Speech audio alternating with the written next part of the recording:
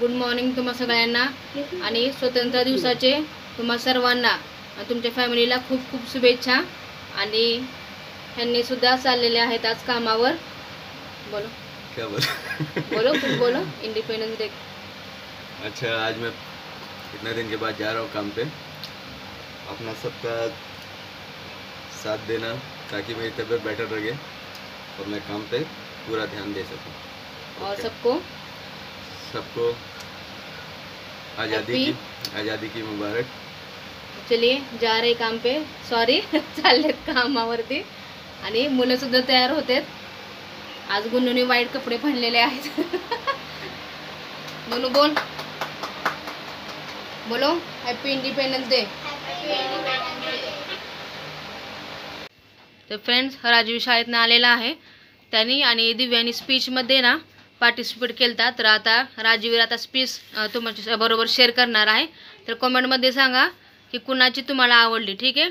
दिव्याची आवडली की राजवीरची राजवीरने घेतलेली आहे इंग्लिशमध्ये आणि दिव्याची होती ती हिंदीमध्ये होती. दिव्याला बघून म्हणायची होती आणि राजवीरला पाठ करून मग ऐकवायचं होतं आणि त्याने ऐकवली सुद्धा आणि टीचरने सुद्धा म्हणाले त्याला. क्या बोला टीचरने कॉन्ग्रेचुलेशंस क्या बोला?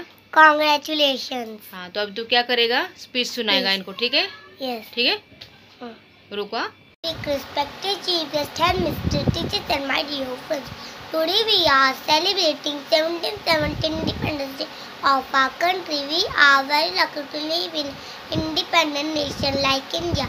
We must not forget that we enjoy this freedom at the cost of sacrifice that were made by the great freedom fighter. It is also a day to rejoice the accomplishment of our nation.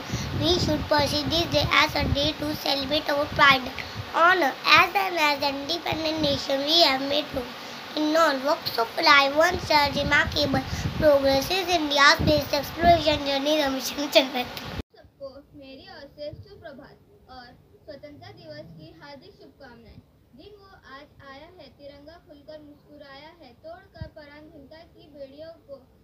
ध्वज कैसे फहराया है?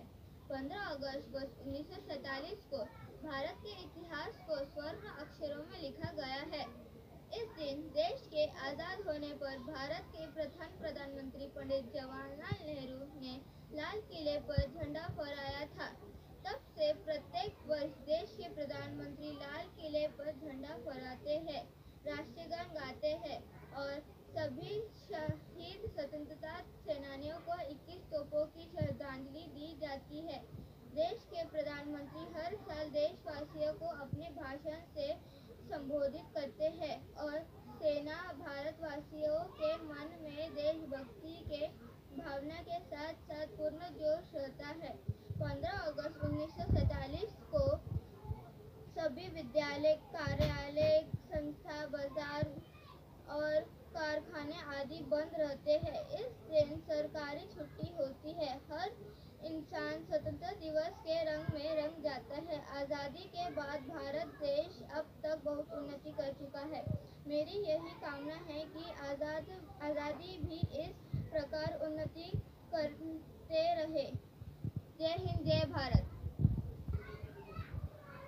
दोघांमध्ये कोणाची speech तुम्हाला आवडली? कमेंट्समध्ये सांगा. Like करा subscribe करा और बेल आइकॉन कर दबा दीजिए। बाय ऐकली स्पीच राजवीरची आणि दिव्याची. तर कॉमेंटमध्ये फटाफट लिहा की तुम्हाला दोघांपैकी कोणाची आवडली. ठीक आहे? आणि आज जेवणामध्ये बनत आहे. थांबा तुम्हाला दाखवते मी काय बनते आज. तिथं भात झालेला आहे आणि भाजीमध्ये बनत आहे. हे बघा रोंगे म्हणतात तिथं मुंबईमध्ये पंजाबी लोक. तर आपल्या इथं चवळी चवळीची भाजी बनत आहे.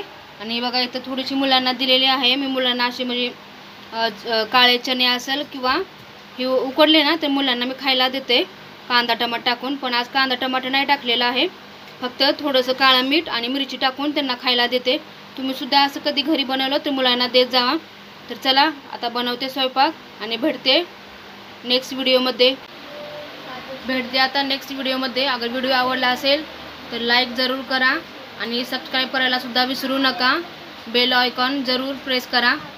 तर चला बाय नंतर भेटूया नेक्स्ट व्हिडिओमध्ये